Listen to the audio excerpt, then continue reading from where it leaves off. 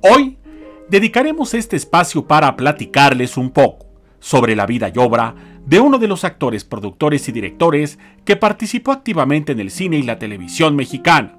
Sin duda, en el género teatral fue cuando tuvo más relevancia. En algún momento, entablaría una estrecha relación de amistad con el también actor y productor Abel Salazar. Sin embargo, por razones que platicaremos en este espacio, su relación de amistad la terminarían en un pleito que los lleva a lastimarse físicamente. Antes de comenzar, los invito a que se suscriban.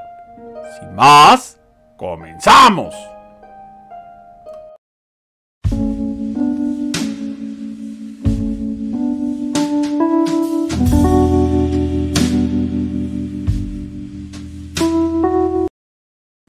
Su nombre verdadero es Manuel Sánchez Navarro. Nace un 15 de julio de 1921 en Vigo, España. Su madre fue la famosa actriz Fanny Schiller. Desde 1934, sus padres lo llevan a México para quedarse a radicar permanentemente. Su vida personal fue bastante discreta. Se casó en una sola ocasión con la también actriz Rafaela Salinas, mejor conocida como Fela Fábregas, con quien procreó seis hijos, los cuales de alguna forma participan en el medio de la farándula.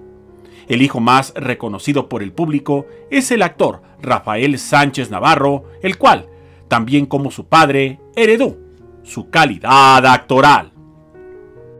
En teatro, por muchos años mantuvo vigente dos obras que seguramente las recordarán de nombre, El diluvio que viene y violinista en el tejado. En un trabajo periodístico se comentó que Manolo Fábregas no se convirtió en una estrella en el cine por la nutrida competencia. Además, inteligentemente se da cuenta que la época de oro en México estaba muriendo. También se dijo que en aquellos entonces la Asociación Nacional de Actores estaba pasando por una terrible etapa donde los malos manejos y ciertas preferencias a un determinado grupo de actores dejó fuera a este talentoso actor. Ya desaparecida la época de oro en México, logró participar en dos películas consideradas de culto. La primera fue Mecánica Nacional, donde comparte créditos con Sara García. El otro film que lo lleva nuevamente a la fama es Lagunilla Mi Barrio, aunque cabe hacer mención que fue muy criticada por algunas especialistas en la materia. Su talento lo llevó a regresar a España y filmar algunas películas de gran calidad. Fue galardonado por un premio Ariel, esto por la mejor coactuación masculina en la película La Barranca 1955. También incursionó en las famosas telecomedias recibiendo un premio por su trayectoria. A finales de la década de los 60, el señor Fábregas habría entablado una profunda amistad con Abel Salazar, el cual tenía fama dentro del ambiente artístico por ser una persona que se aprovechaba de las relaciones de amistad para satisfacer sus necesidades materiales a través de pedirles dinero prestado, el cual tardaba mucho tiempo en pagarles. Sin embargo, esto no sería el motivo de pleitos con don Manolo.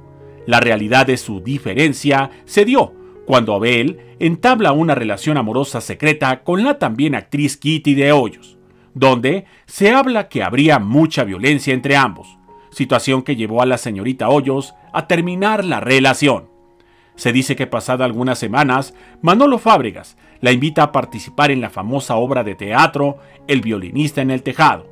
Ahí, de manera discreta, este gran actor cortejaría a la bella actriz, la cual accedería a sostener un romance secreto.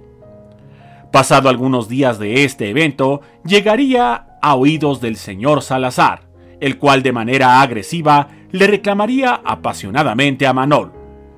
Personas cercanas al evento comentaron que Abel sacó una pistola y amenazó con matarlo si no terminaba con la relación con Kitty. Más adelante se afirma que ambos se pelearían físicamente para después buscar por todos los medios perjudicarse de alguna manera. Lamentablemente este gran actor perdió la vida un 4 de febrero de 1996 a causa de un paro cardíaco. Esto sucedió en el teatro que hoy lleva su nombre ubicado en la Ciudad de México. Muchas gracias y hasta la próxima.